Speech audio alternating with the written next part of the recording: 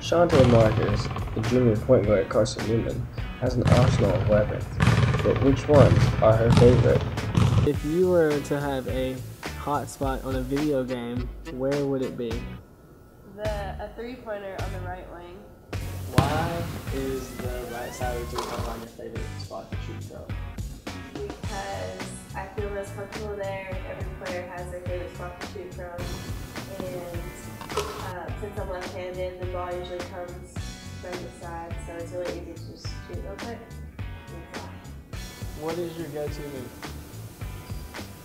Probably crossover around the back. In what situations do you use the behind the back crossover move? In situations where I'm about to break down a defender and try to get to the basket, um, I'm most comfortable with that move. And I usually, if they bite on the crossover, that's when I'll go the back. If they don't bite, then I'll have to change up what I'm doing.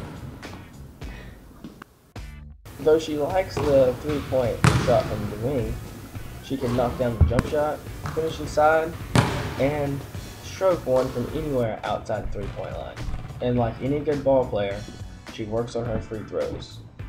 We look forward to seeing Chante play this season for your Carson Newman Eagles.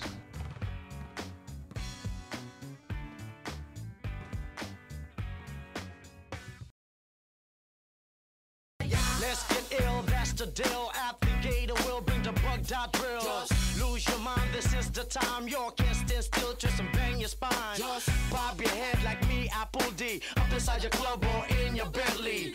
Get messy, loud and sick. Your mind fast, no more on another head trip. So come them now, do not correct it.